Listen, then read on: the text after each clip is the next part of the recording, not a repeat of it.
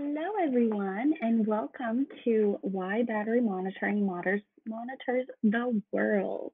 That's a mouthful. Uh, my name is Sonia Hugnew, and I will be your host today. I wanted to go ahead and first start off by showing you a short little clip that just discusses the variety of products that we offer here at Predictive Technology.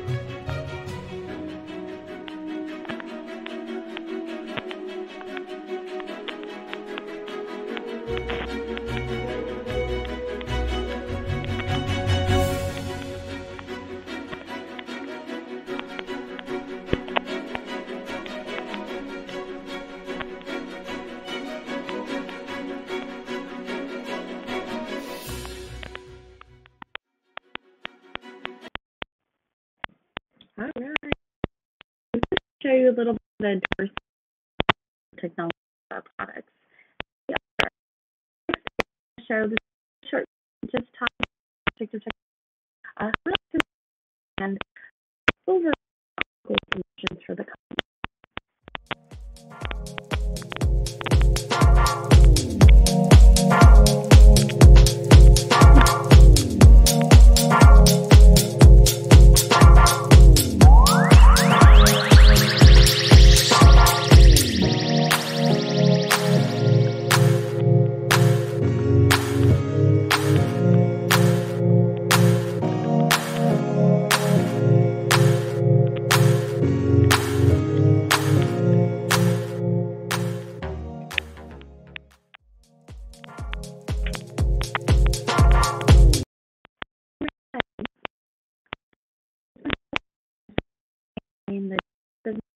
at Predictive sales and marketing for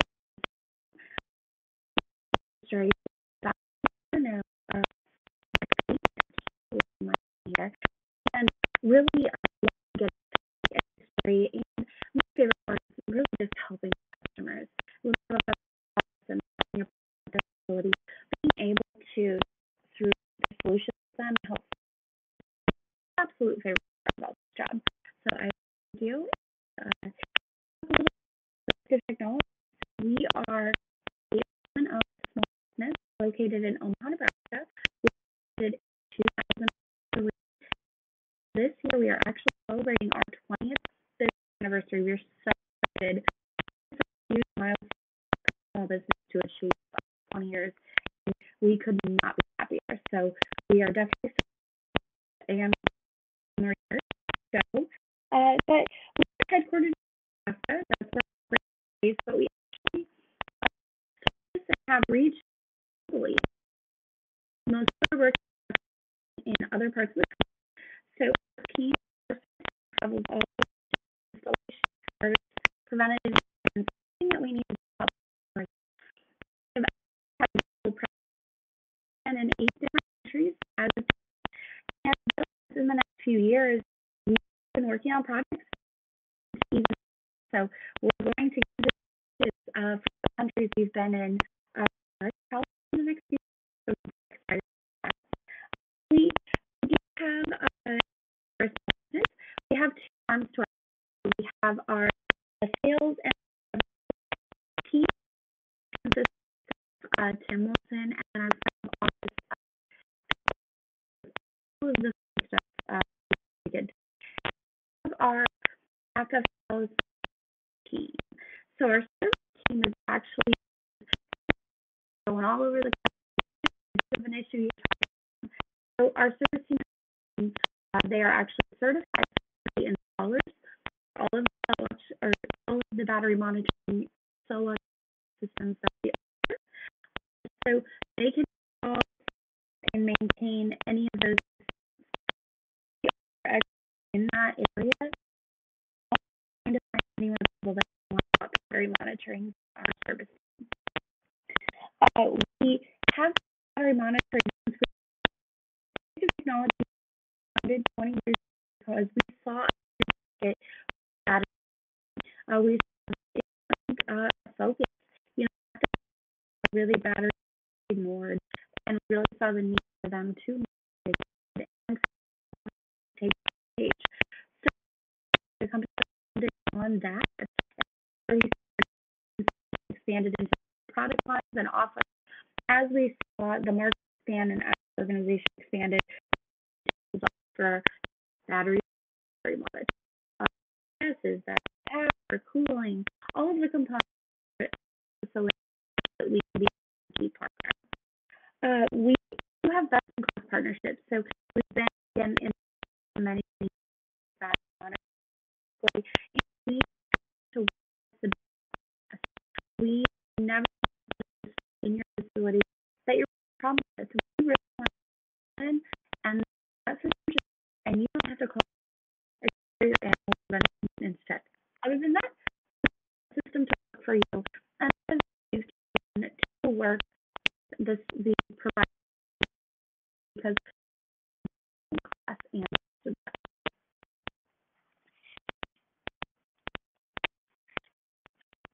all right, let's talk about first other battery monitoring system.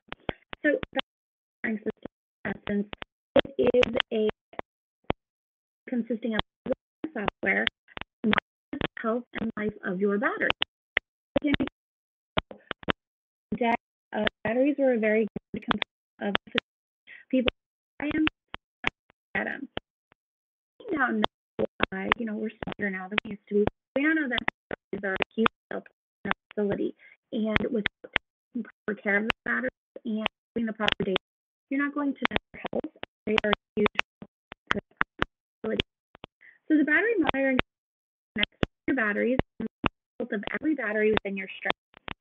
If there is, it analyzes the battery, and if there is an issue with the uh, this so you'll get alert within. You could have previously up even text. You get alert. Hey, that's seven. With it. That way, you you see the problem immediately. It prevents uh, it and then it a lot of things that you could that go unchecked and abandoned. This system just makes that your battery always runs and there's never uh, you again, you can correct it immediately. That's really the big benefit to battery monitoring.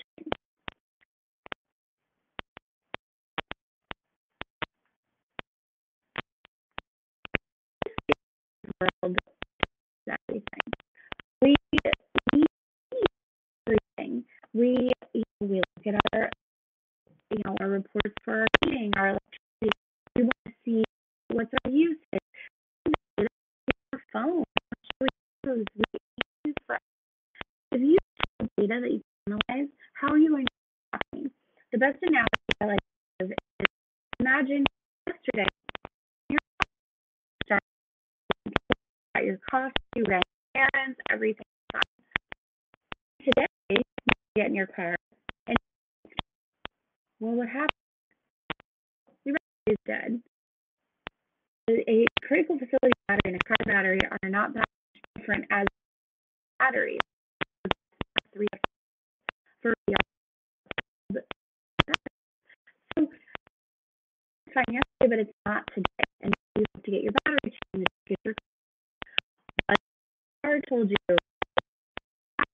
batteries proactive with it. Be more proactive and ensure that you don't have an experience where you have the car or the car.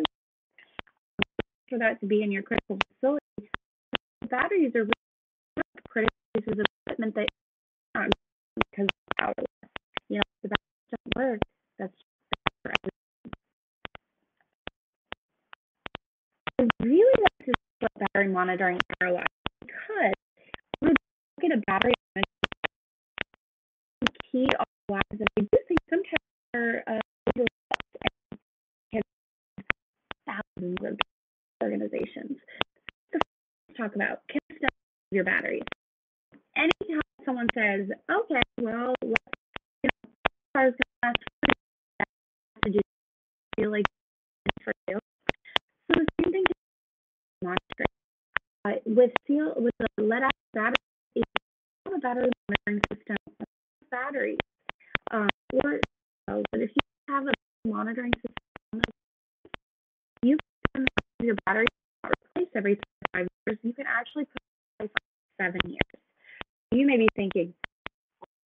years is it's double the life. Yes. Now that pieces, right? So if a string of batteries is battery power, of now that may be a that again, your monitoring system will do that. If you have a string of batteries, monitoring going on back to batteries, you can and again, battery monitoring system education on the healthy decide what's best for them. Leading me to my next and necessary. Just think this way: if your policy says we're, we don't have a battery monitoring system, so we're replacing every four. But once you put that battery monitoring and it tells you, well, hey, we actually to six years, of where you extended the life of those batteries and not them as you know over back to your thousand dollars you're not using the rack life of your batteries, which is a lot of money for your patient simply because that's not giving the information. And then reduce maintenance costs. About reducing costs. Your battery monitoring system your so your maintenance tech is software into the system as opposed to physically and maintain battery. Battery monitoring to see what's going on. What's your really it's to perform. We still always recommend um, energy battery it's necessary. We best practice. Talking about reduced maintenance costs, let's look at safety, improved safety. Was your service team pre physically handling batteries to are they messing with the strings? Obviously, there's an inherent level of um, risk that comes with that. And really, with your battery monitoring system, checks, telling giving you the information, it's going to be much need that physical check that you previously had. Again, will be safer because we utilize the software hands on with the strings of battery. And of course, is doing something very people uh, our team out batteries. They get troubleshoot battery model, and we'll make sure we can isn't happening. And the one, this one that is the one that this is the one that is not a battery failure. This is really what it's all about. Battery failure can be detrimental to a credit. So batteries, like we talked about, a true point of failure uh, can occur in a facility. If you think about it, you know batteries is you monitoring is saying that everything is healthy, everything is fine, but failure go to. Okay, well, you're performing UPS, you're keeping all care, So eliminating let's now go back to our career. Everything is fine with really you're just to help achieve 100% uptime. That's really what it's about. Zero percent down. Just to have less, half left. Um, take a look at downtime. So down is a terrible word. I, so the Uptime Institute actually every year we're time trends in credibility. Show it's around we should this it does come out. But some trends they to eye opening and should about things we already talked about. First one, nearly percent of outages in 2020 lasted greater than 24 hours. About that. 24 hours. If you're starting to add the math up in your head, all right, well, it depends. Is facility or the part of it, is it a revenue generating part of the facility? More probably. And if it is a revenue generating part of the facility, are you losing on let's look at lost time later. So you may have IT or facilities team that's responsible for fixing systems. Well, they are generating projects or projects, and now they focus on this because it is number one. Sometimes it's and running. So really, it starts to add up. The cost to add up increase the time that you're down. Um, so more than 60 dollars results in at least $100,000 total loss. So again, that's cost increase. However, we're not looking about cost, indirect cost. Revenue generation because of the equipment. Let's look at the wasted time through team that back up and running. Wasted labor and unrated of um, data that companies are looking at. Like by adding this battery monitoring system, you could basically replace the time your maintenance team is working on the equipment. Okay, well now we're going to replace the wasted time on trying to fix broken equipment or battery troubleshooting that time adds up. There is a number you can put on that, and it, we always recommend facilities be looking at that. And then the last one, which is we've already kind of touched on, but the most significant outages usually tied to electrical equipment, especially UPS failures.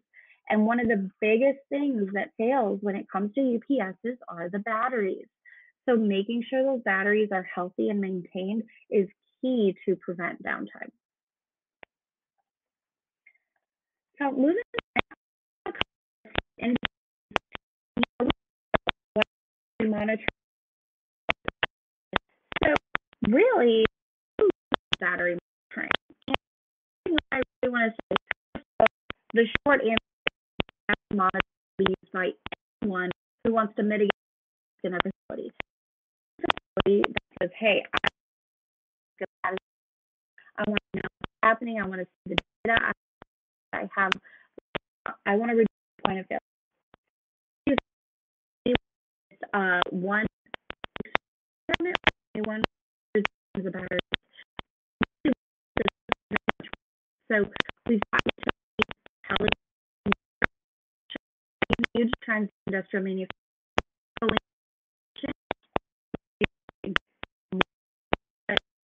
equipment that needs uh, and batteries and prices they down. Fintech, so you know, like financial we're talking about their service corporations. Corporations are becoming more digital than ever, and they need to have that monitored and ensured 100% uptime. Hyperscalers, so we're talking about the the Metas, the Amazons, the Googles, they have hundreds and hundreds of thousands of strings of batteries, just so many batteries. And they need to monitor those and they need to understand that those batteries are working correctly. Uh, so, again, the short answer really every industry utilizes battery monitoring. But the one I want to kind of focus on um, and talk about really why it's so critical, and you'll help kind of understand that, is first looking at utility. So utility companies, uh, they have to live by some special parameters. Battery monitoring is huge in the utility sector uh, for really a big reason is because it has to be. So utility companies actually have to abide by NERC compliance and the official NERC code is the PRC 005006. So again, I'm not going to go into uh, the exact code. I'm not going to read it to you, I promise. Uh, but just helping you understand what it is. And again, it'll help shed some light on what it does. So first, what is NERC? Uh, it's a fun acronym, and I'm going to read it because it's very long. But it's the North American Electric Reliability Corporation. NERC for short.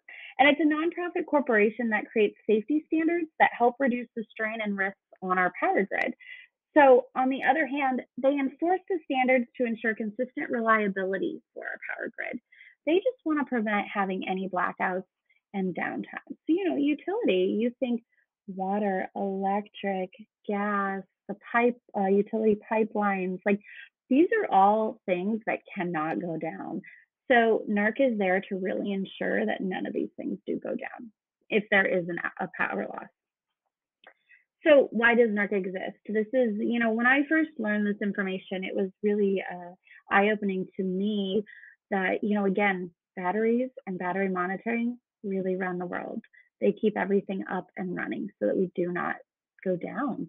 So NERC was actually formed after the November 1965 Northeast blackouts. Uh, those blackouts affected Ontario, uh, Connecticut, Rhode Island, and New Hampshire. It's a pretty big area. And the blackouts caused significant infrastructure damage and resulted in 14 hours of complete power loss. 14 hours of, you think, traffic signals, lights in buildings. I mean, nothing. There was nothing. And oh, to me, that's just such a long time. You know, sometimes cities will have hour, one hour, half hour, 10 minutes, or they'll have brownouts, which happen all the time. But 14 hours is a very long time. This power outage was very monumental because it actually resulted in 11 deaths it was a very deadly power outage back in 1965. And the problem, the root cause of this blackout was actually a faulty relay on a string of batteries, which is a very common problem that can occur with batteries. But in this case, a common problem resulted in an uncommon and deadly situation. Um, so, just as a note, you know, a, a, faulty relay is something that can occur. It happens. And if you had a, a battery monitoring system um, and if this facility would have had a battery monitoring system, uh, they they would have been able to see that, and they would have been able to correct the problem before this blackout occurred. Uh, so I'm going to talk about really the big thing, and I'm not going to go into the whole code with NERC with you, but the biggest thing that NERC does is it requires battery backup for these utility companies. So battery backup is required for when there's a power loss so that normal functions and normal um, power can be provided. So um, if their backup equipment isn't running, it has to be backed up by batteries if the line power isn't coming in. So the biggest thing that NERC is focused on is the service and maintenance of these batteries. So these batteries, they have very strict standards as to how often, how frequently, the types of checks in person. Um, so it is actually uh, very in depth the amount of in-person physical checks required through NERC for a string of batteries with a, in it, within a utility company. And the problem a lot of times that occurs is these utility posts or these small locations, they are all over, right? Like, so a utility company may be based in Omaha, Nebraska, but they may have hundreds of posts within hundreds of miles, right? So all of those small uh, sheds or posts, they're going to have batteries in them. And in order to really check and maintain those batteries, have someone there in person doing that. And if they don't, then to help prevent that, they can have a compliant battery monitoring system. So if the utility company has a compliant battery monitoring system hooked up to these batteries, it does reduce the checks. It eliminates the physical in-person that needed to do those physical checks and reporting back. So for utility, uh, battery monitoring really isn't an optional piece of equipment. It it is a necessary, specifically to be NERC compliant. And you know, if you are a utility company or are working with a utility company and you're not sure about NERC compliance, what it is, uh, our team is discuss it further and discuss what it takes to be NERC compliant with a battery monitoring system. Um, we do have compliant systems, so if that is something that was needed, definitely provide that to you. So when you think about um, really why NERC was created uh, because of these blackouts, I mean, we've had blackouts that occurred in because battery issue. Because of that, batteries really cover every facility as batteries. So to downtime, they're really there to help and ensure no really world. Just to uh, touch a little on telecom, I know we're running over a little bit. Um, oh, and sorry, if you wanted to download that last uh, white paper, you can simply uh, scan this QR code and we can also send it out when we send out the information. Uh, reach out to a member of our team and we can get you a copy as well. So moving on to telecom, we have a simple white paper for this. It's a one sheet just outlining the benefits that battery has when it comes to this industry. So telecom with battery monitoring is similar to utility because they have small remote sites all over. It may be in non-staffed areas, 24/7 uh, operations, and 100% uptime required. With those kind of requirements, uh, battery monitoring is going to help ensure that their batteries, no matter where they're located, no matter how many there are, uh, no matter how remote the facility is that they're in, they can be monitored and you know that those batteries are functioning properly. An industry where we've really seen a lot of movement. So in the last 10 years, uh, we have really seen a push through uh, manufacturing to have uh, to have battery monitoring. And the real reason, if you think about it, um, and manufacturing has really gone to automation. So a lot of the um, on the floor production machines, um, a lot of the pieces and components, everything is automated. Well, with that automation means you have to have back end support, right? So, you know, when you think about uh, a production floor machine, that machine has a control panel. That control panel, if it loses line power, will stop the machine. So now that control panel needs to be backed up with power. So that control panel is backed up with the UPS, and then the UPS has batteries, and then of course the batteries cannot be at risk. So we've really seen uh, manufacturing make a shift to they need all of their control panels, all the electrical pieces, and all the automation needs to be backed up. So battery monitoring has really been uh, a real kind of game changer for the manufacturing world in the last 10 years. So I know we've kind of covered a lot of information, uh, but really battery monitoring systems are there to help ensure 0% downtime, right? We always want to achieve time. Uh, it is there but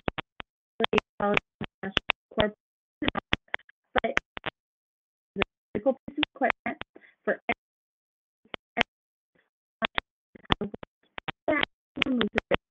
we love, we love removing fail points.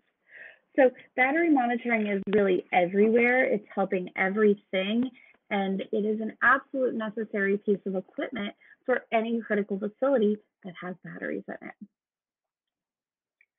So I want to thank you for joining us today. This is uh, one of our many webinars we host uh, every few put one out there.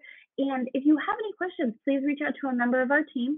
Uh, if you have an application or a question on NERC or battery monitoring, or have an application where you're just not sure, we're happy to design a build for you and talk about what would work for your facility because no facility is the same when it comes to battery monitoring.